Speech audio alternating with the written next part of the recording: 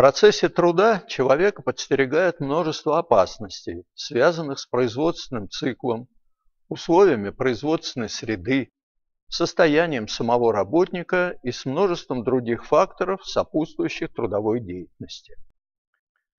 Вредным называется производственный фактор, воздействие которого на работника может привести к его заболеванию. Опасный производственный фактор – это фактор, воздействие которого на работника может привести к его травме. Потенциальные опасности производственной деятельности и условий труда, как правило, не реализуются, так как на производстве действует система обеспечения безопасности жизни и здоровья работников в процессе трудовой деятельности, носящая название охраны труда.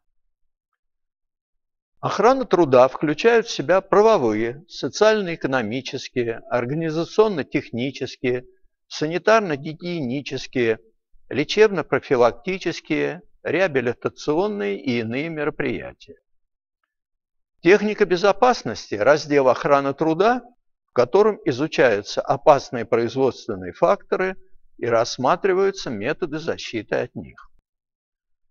Правила, процедуры, критерии нормативы, направленные на сохранение жизни и здоровья работников в процессе трудовой деятельности, устанавливаются государственными нормативными требованиями охраны труда, которые обязательны для исполнения юридическими и физическими лицами при осуществлении ими любых видов деятельности, в том числе при проектировании, строительстве, реконструкции и эксплуатации объектов, конструировании машин, механизмов и другого оборудования, разработке технологических процессов, организации производства и труда.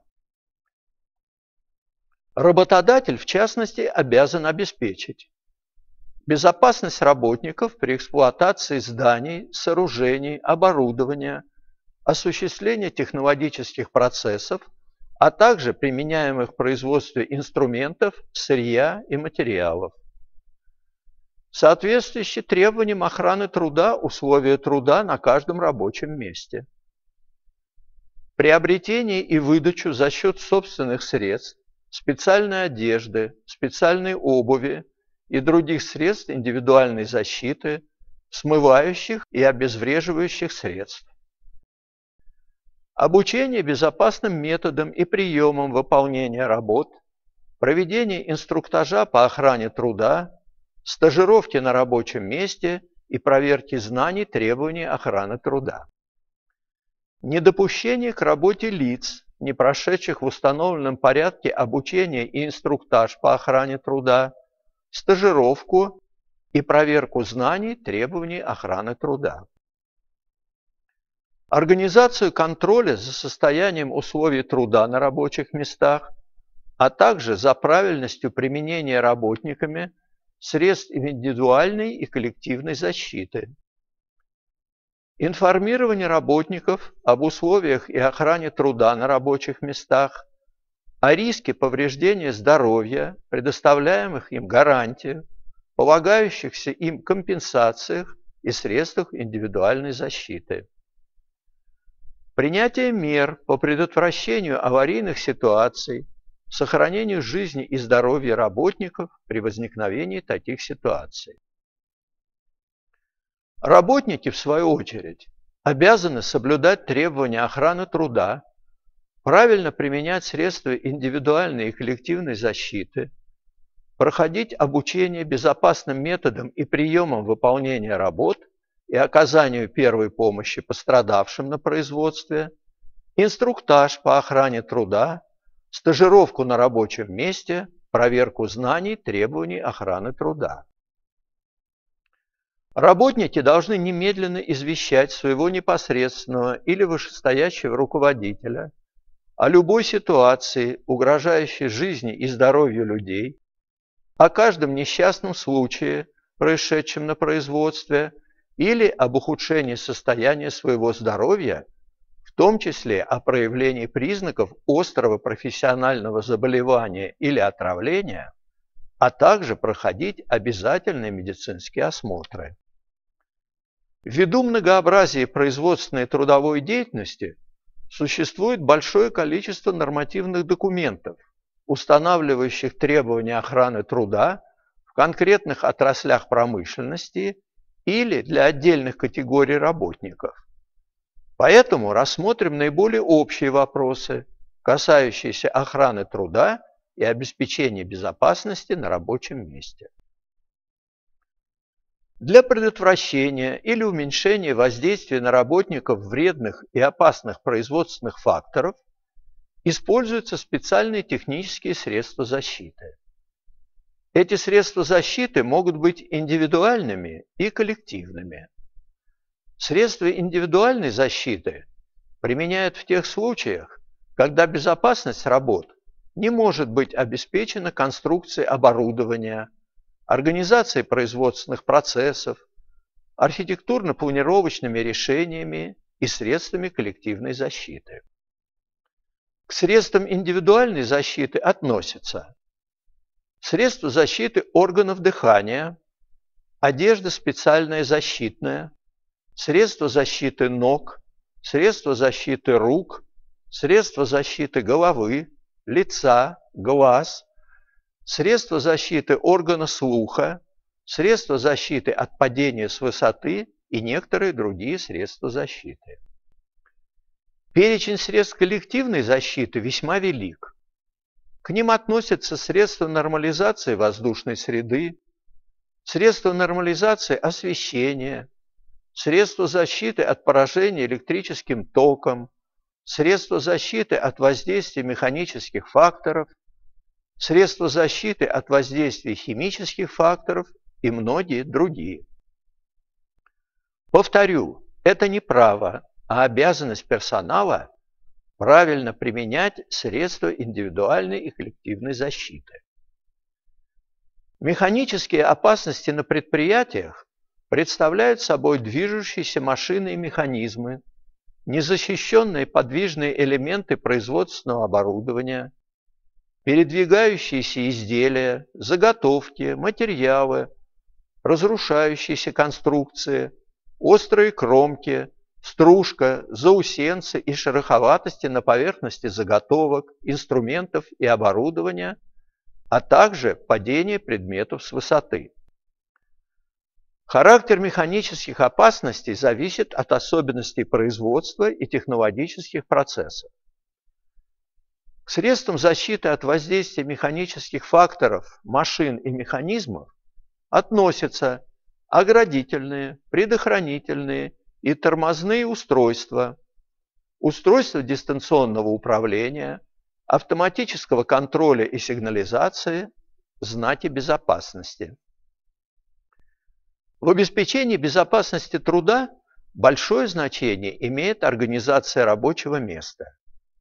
Верстак или стол, приспособления, инструмент, детали должны быть размещены на рабочем месте с учетом следующих правил. Все предметы, которые берут только правой или левой рукой, кладут соответственно справа или слева. Ближе должны лежать предметы, которые требуются чаще. Нельзя допускать скученности предметов, их разбросанности. Каждый предмет должен иметь свое постоянное место. Нельзя класть один предмет на другой. Особое внимание уделяется обеспечению безопасности при работе с ручным механизированным инструментом, который может быть источником тяжелейших травм из-за его высокой скорости, для которой быстрота реакции человека недостаточна, чтобы в момент аварии вовремя отключить привод. Механизированный инструмент включают только после того, как подготовлено рабочее место, обрабатываемая поверхность, а человек занял устойчивое положение. После завершения операции обработки инструмент должен быть отключен. Для того, чтобы избежать травм, необходимо руководствоваться следующими правилами. При работе с режущими и колющими инструментами их режущие кромки должны быть направлены в сторону, противоположную телу работающего, чтобы избежать травмы при срыве инструмента с обрабатываемой поверхности. Пальцы рук должны находиться на безопасном удалении от режущих кромок инструмента. Обрабатываемая деталь должна быть надежно закреплена в тисках или каком-либо другом зажимном приспособлении. На рабочем месте режущие и колющие предметы должны располагаться на видном месте, а само рабочее место должно быть освобождено от посторонних и ненужных предметов и инструментов, о которые можно зацепиться и споткнуться. Положение тела работающего должно быть устойчивым.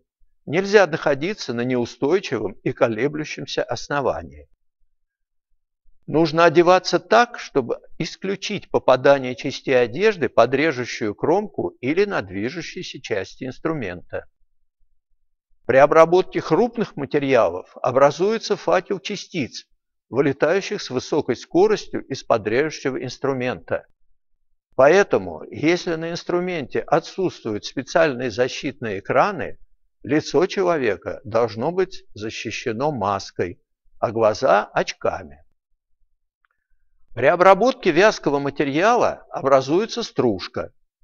Она наворачивается на вращающийся инструмент, а затем под действием центробежной силы может отлететь и нанести травму. Поэтому образующуюся ленточную стружку нужно своевременно удалять с инструмента, предварительно остановив его.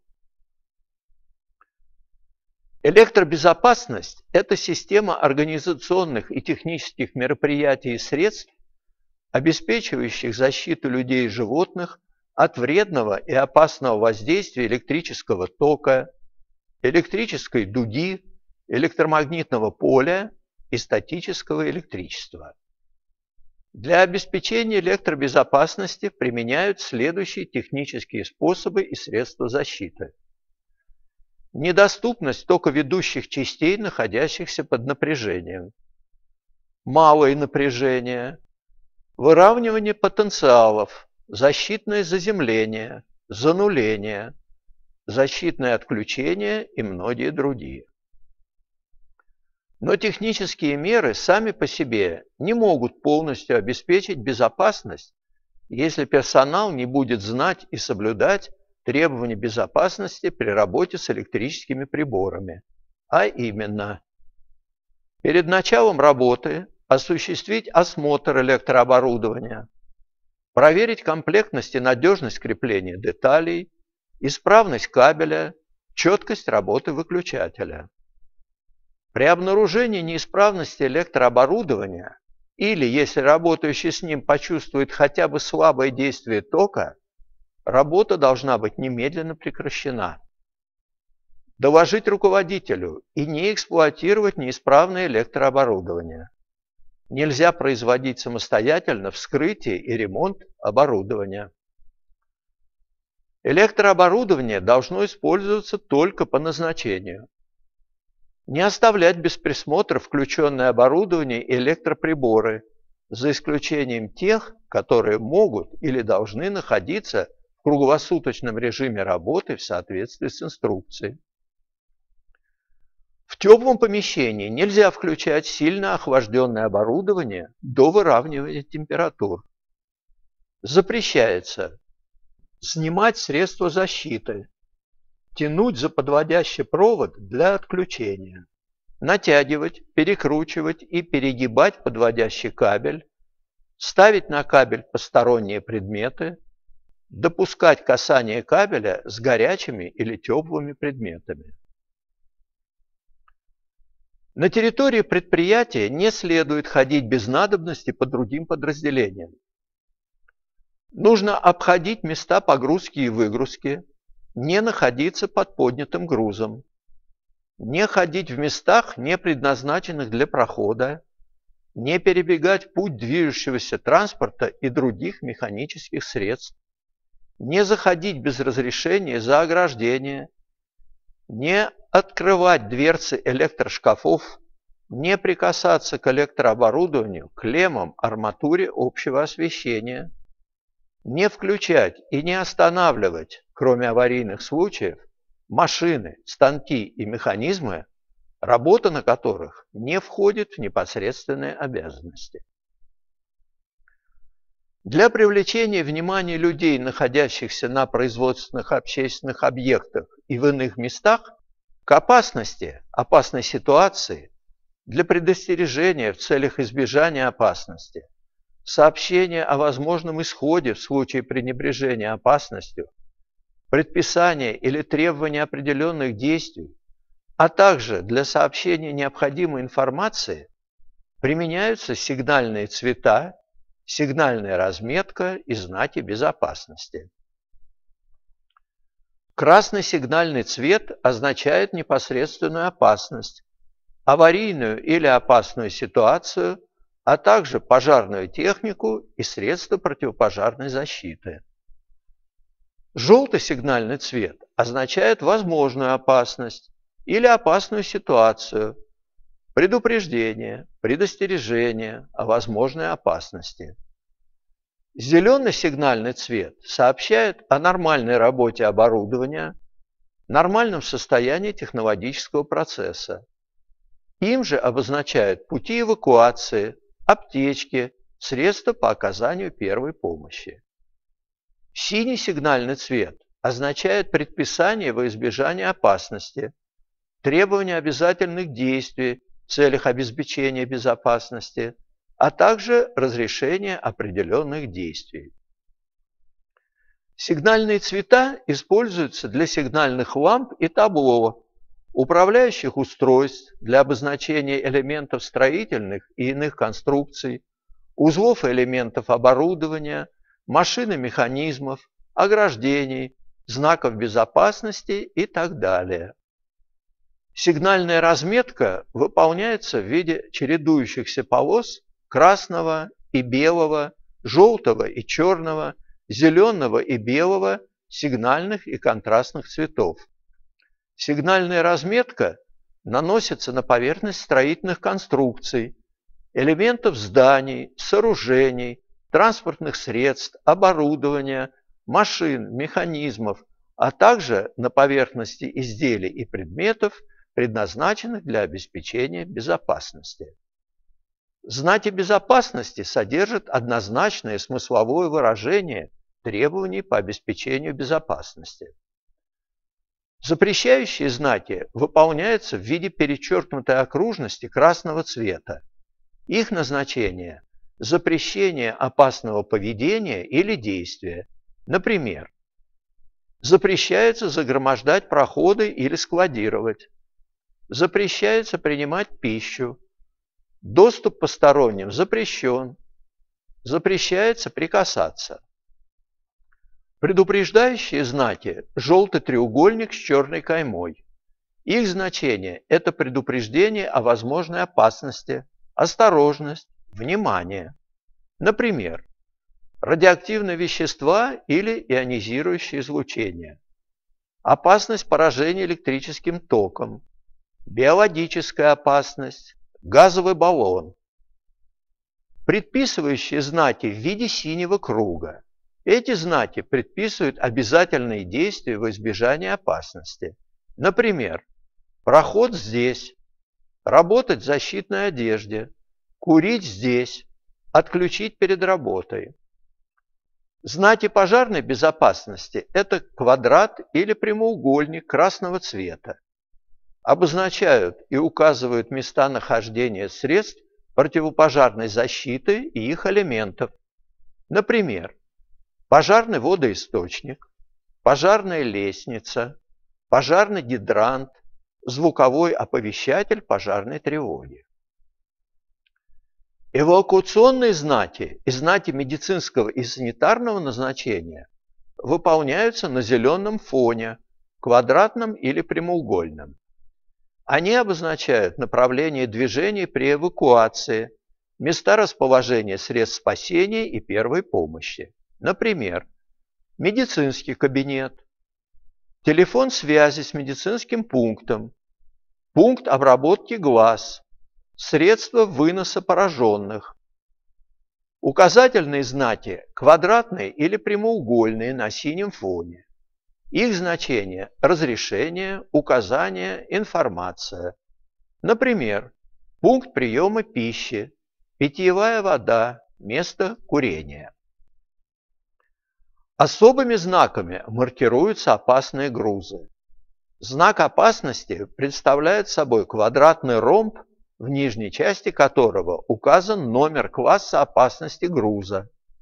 К опасным грузам относятся вещества и предметы, которые при транспортировании, выполнении погрузочно-разгрузочных работ и хранении могут послужить причиной взрыва, пожара или повреждения транспортных средств, складов, устройств, зданий и сооружений, а также гибели, увечья, ожогов облучения или заболевания людей.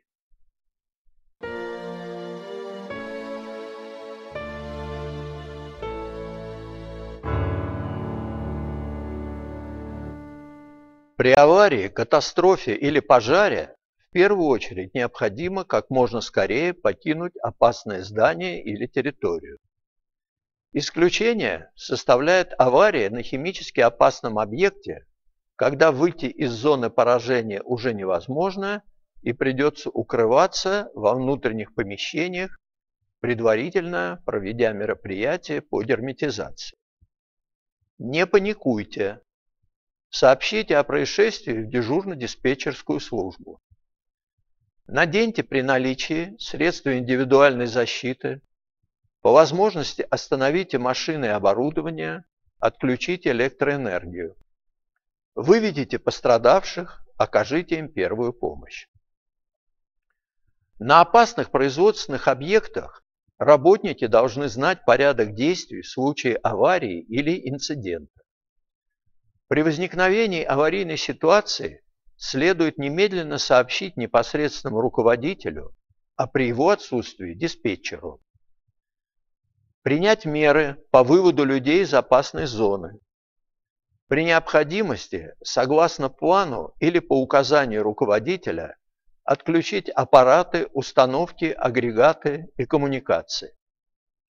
В установленном порядке участвовать в проведении работ по локализации аварии. Персонал опасного объекта должен знать местонахождение аварийных средств защиты, средств оказания первой помощи и уметь ими пользоваться. При пожаре следует немедленно сообщить о случившемся в пожарную охрану, задействовать пожарный извещатель, включить стационарную систему пожаротушения. Быстро, без давки, покинуть здание по заранее изученному безопасному маршруту, используя пути эвакуации, запасные выходы, пожарные лестницы. При пожаре и при угрозе обрушения никогда не пользуйтесь лифтом. Он является ловушкой, из которой оперативно выбраться будет нереально. При пожаре в Останкинской телебашне 27 августа 2000 года в лифте погибло три человека, пренебрегших этим правилом. Причем один из погибших был офицером управления Государственной противопожарной службы. При пожаре необходимо всеми способами защищаться от дыма, являющегося основной причиной гибели людей. Несколько вдохов воздуха, насыщенного дымом, могут привести к потере сознания. Поэтому дышать необходимо, используя наличие самоспасательной или через мокрую ткань. При образовании опасной концентрации дыма и повышении температуры в помещении лечь на пол и передвигаться ползком к выходу. Если выйти из здания уже нет возможности, оставайтесь в помещении. Закрытая и хорошо уплотненная дверь на некоторое время защитит от опасной температуры и дыма. Во избежание отравления продуктами горения заткните щели дверей и вентиляционные отверстия мокрой тканью или заклейте скотчем. Вывести в окно кусок светлой ткани, сигнализирующий о наличии в этом помещении людей. При невозможности использовать основные и запасные выходы вследствие задымления высокой температуры, эвакуацию можно продолжать по пожарной лестнице или использовать крепко связанные шторы или веревки. Спускаться надо по одному, подстраховывая друг друга. Подобное самоспасение связано с риском для жизни и допустимо лишь тогда, когда нет иного выхода. При спасении пострадавших из горящего помещения, прежде чем войти туда, необходимо накрыться с головой мокрым покрывалом, пальто, плащом, куском плотной ткани. Отправляясь на поиски людей в задымленное помещение, надо обязательно обвязаться веревкой. Второй конец веревки держит подстраховывающий человек. Дверь в задымленное помещение открывать осторожно, чтобы избежать вспышки пламени от быстрого притока свежего воздуха.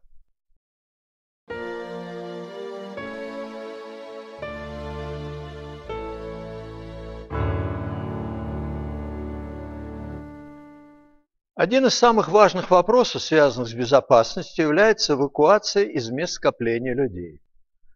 В зданиях должны быть предусмотрены конструктивные, объемно-планировочные и инженерно-технические решения, обеспечивающие в случае пожара возможность эвакуации людей, независимо от их возраста и физического состояния, наружу, на прилегающую к зданию территорию, до наступления угрозы их жизни и здоровью вследствие воздействия опасных факторов пожара.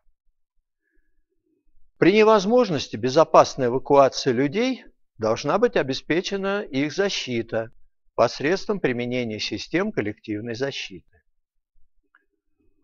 Услышав сигнал об эвакуации, персоналу необходимо прекратить проведение всех работ. Старшему должностному лицу подразделения следует оценить создавшуюся обстановку, при необходимости принять меры по обесточиванию оборудования, сосчитать количество работников перед выходом из помещения, без лишней суеты вывести людей через ближайший основной или запасной выход на улицу, немедленно пресекать все случаи возникновения паники. Эвакуировавшиеся из здания работники собираются в заранее условленном месте на расстоянии не ближе высоты эвакуируемого здания, где старшие проводят подсчет и сообщают руководству о количестве эвакуированных и отсутствующих. Места сбора работников должны быть определены заранее. Практические навыки эвакуации в случае пожара, аварии или катастрофы на производстве отрабатываются при проведении ежегодных объектовых тренировок. Для обеспечения безопасной эвакуации людей должны быть установлено необходимое количество, размеры и соответствующее конструктивное исполнение эвакуационных путей и эвакуационных выходов. Обеспечено беспрепятственное движение людей по эвакуационным путям и через эвакуационные выходы. Организовано оповещение и управление движением людей по эвакуационным путям, в том числе с использованием световых указателей, звукового и речевого оповещения. К эвакуационным выходам из зданий, сооружений и строений относятся выходы, которые ведут из помещений первого этажа наружу, из помещений других этажей на лестничную клетку или на наружную открытую лестницу, и ряд других выходов, определенных нормативными документами. В проемах эвакуационных выходов запрещается устанавливать раздвижные и подъемно-опускные двери, вращающиеся двери, турникеты и другие предметы, препятствующие свободному проходу людей. Запрещается загромождать эвакуационные пути и выходы различными материалами, изделиями, оборудованием, производственными отходами, мусором и другими предметами, а также блокировать двери эвакуационных выходов. Запрещается устраивать в тамбурах выходов сушилки и вешалки для одежды, гардеробы, а также хранить, в том числе временно, инвентарь и материалы. Запрещается фиксировать самозакрывающиеся двери лестничных клеток, коридоров, холлов и тамбуров в открытом положении, а также снимать их. Ковры, ковровые дорожки и другие покрытия полов на путях эвакуации должны надежно крепиться к полу. Запоры на дверях эвакуационных выходов должны обеспечивать возможность их свободного открывания изнутри без ключа. Пути эвакуации и эвакуационные выходы обозначаются специальными знаками. Знаки направления к эвакуационному выходу размещаются на стенах помещений. Вот такие знаки размещаются на лестничных площадках и стенах, прилегающих к лестничному маршу. Указатель двери эвакуационного выхода размещается над дверями эвакуационных выходов. Над дверями эвакуационного выхода и аварийного выхода могут быть и такие знаки. На дверях помещений могут устанавливаться знаки для указания направления открывания дверей или для обозначения действий по открыванию сдвижных дверей.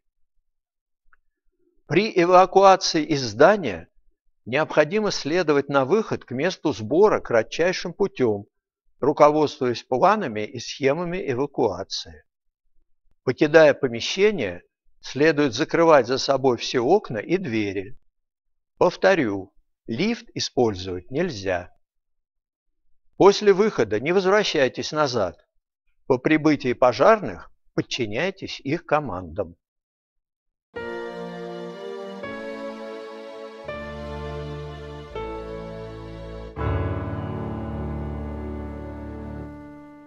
В соответствии с федеральным законом о пожарной безопасности, пожарная безопасность – это состояние защищенности личности, имущества, общества и государства от пожаров.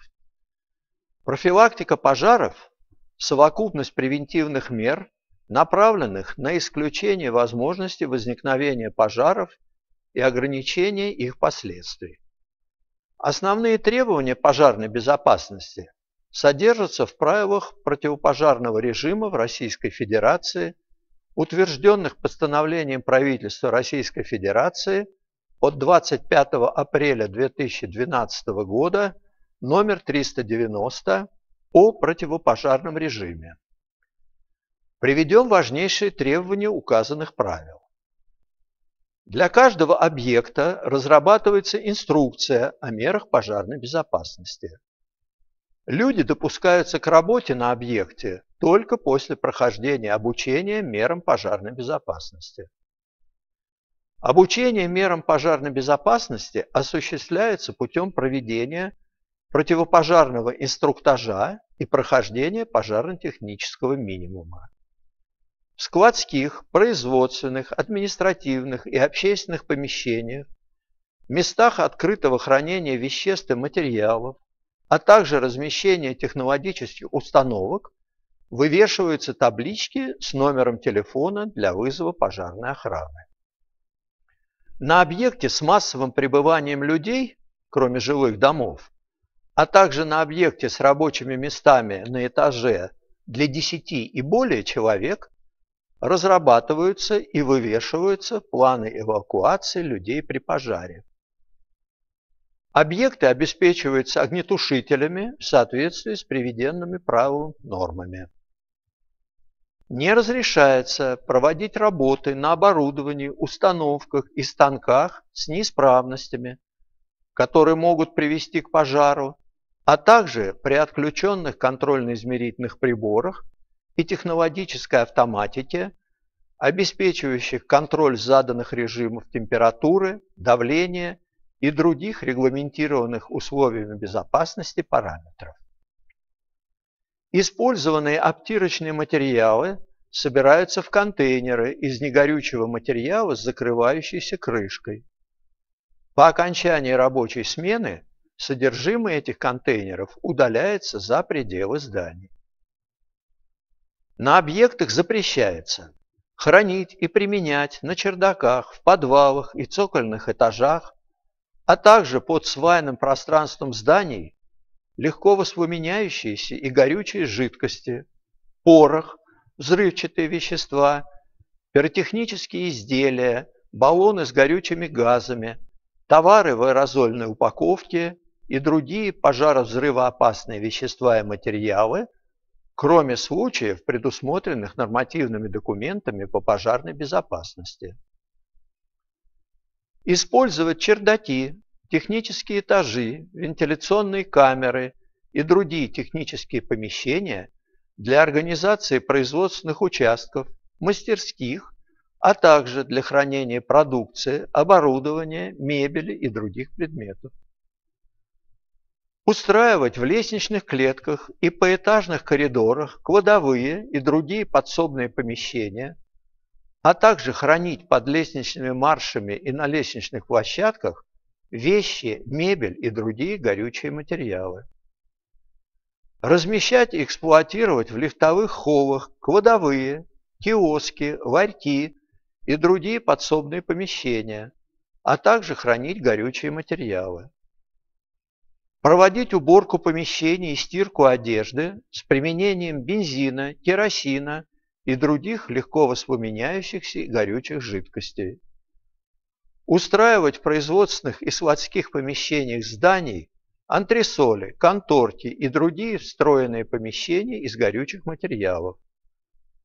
Эксплуатировать электропровода и кабели с видимыми нарушениями изоляции, пользоваться розетками, рубильниками, другими электроустановочными изделиями с повреждениями.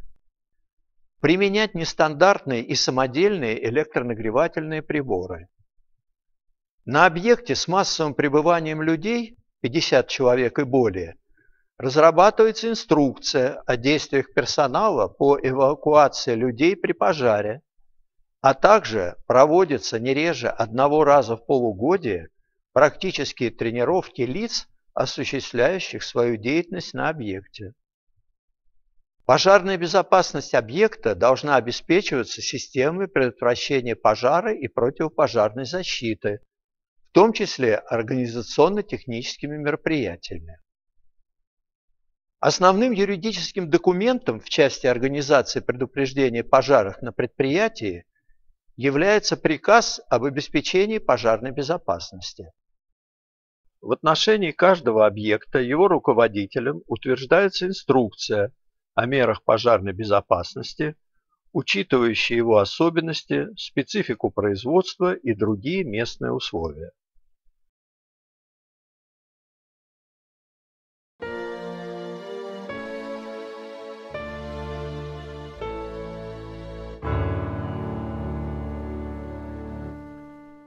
Возникновение пожара возможно предотвратить соблюдением работниками установленных правил и требований пожарной безопасности на производстве. В целях предупреждения пожаров необходимо не оставлять без присмотра электронагревательные приборы, электрочайники, камины и тому подобное. Не хранить в помещениях сверхнормативные запасы легко воспламеняющихся и горючих жидкостей и материалов не курить и не пользоваться открытым огнем в неустановленных местах. Не нарушать состояние электропроводки, не заклеивать ее бумагой, использовать ее для размещения каких-либо предметов, завешивать плакатами или одеждой розетки. Проводить систематический контроль исправности защитных аппаратов и устройств на электрооборудование – Постоянный надзор за эксплуатацией электроустановок и электросетей силами электротехнического персонала. Не допускать хранения, транспортирования и содержания на рабочих местах огнеопасных жидкостей и растворов в открытых емкостях, ведрах, открытых банках и тому подобное. Соблюдать режим эксплуатации огнедействующих производственных установок и отопительных приборов своевременно удалять промасельные обтирочные материалы и огнеопасные производственные отходы специально отведенные для этого места. Выполнять требования безопасности при работе с нагретыми до высокой температуры изделиями и материалами при сварочных и других огневых работах. обеспечивать надежную герметизацию производственного оборудования и трубопроводов с огнеопасными продуктами и немедленное устранение неисправностей при выявлении утечек. Предупреждать появление искровых разрядов статического электричества при обработке материалов или использовании жидкостей, склонных к электризации.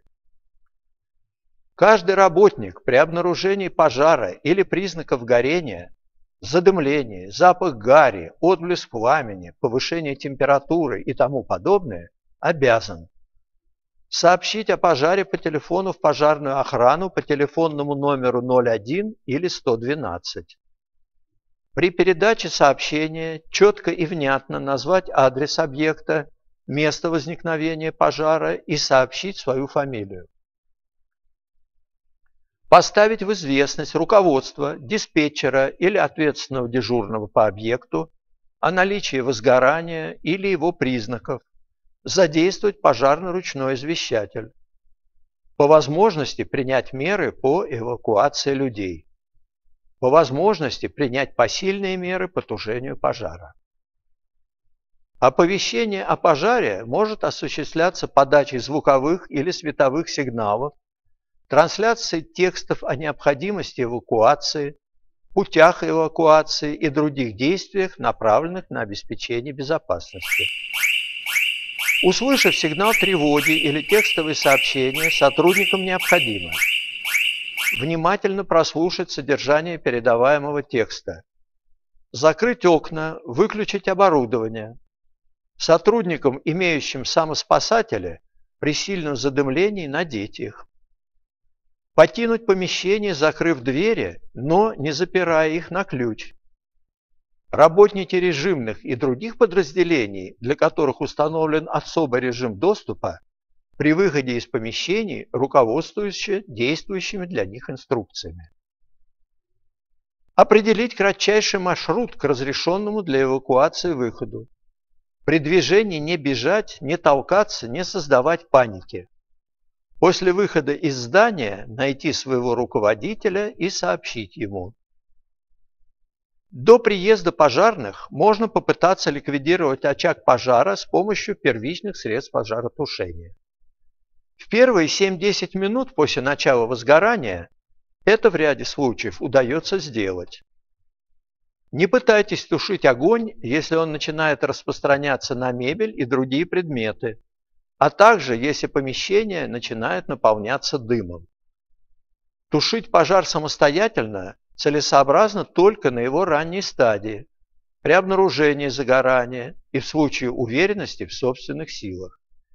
Если загорание не удалось справиться в течение нескольких минут, то дальнейшая борьба может оказаться не только бесполезной, но и смертельно опасной. При неэффективности предпринятых действий необходимо быстро выйти на улицу. И последнее. При нештатной или аварийной ситуации Читать инструкции будет некогда. Изучите и запомните их заранее.